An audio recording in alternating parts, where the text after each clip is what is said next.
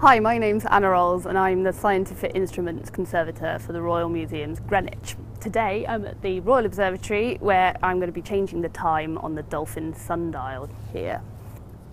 So I'm changing the rims on this sundial so that they actually tell time according to Greenwich Mean Time because until today they had been showing British summertime. A sundial doesn't normally change its time because the sun's shadow is pretty fixed.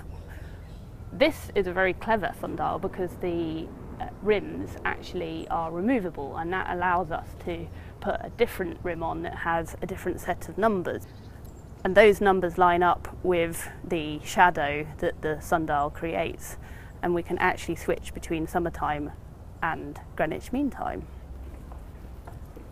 You can find this sundial in the Astronomy Garden at the Royal Observatory Greenwich where it's permanently on display and hopefully if it's a sunny day you can actually read the time on it.